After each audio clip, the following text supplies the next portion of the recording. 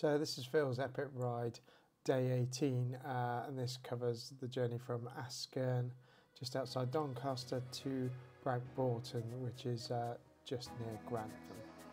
So day 19 was a 60 mile ride for Phil, but um, fairly uneventful really.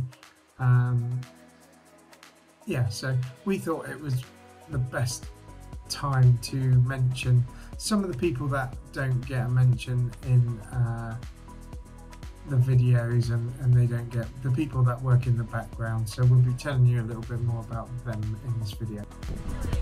Me? First I've ever seen you.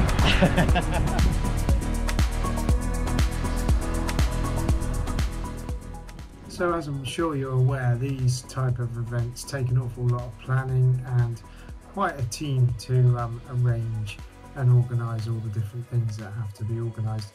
So we just like to thank Mick Freeman, Gemma Franco, and Paul Giles, who are the other members of the team that has um, done all the organisation for this incredible um, trip that we've been on, and they're just as responsible for raising the money as Phil and I are as well.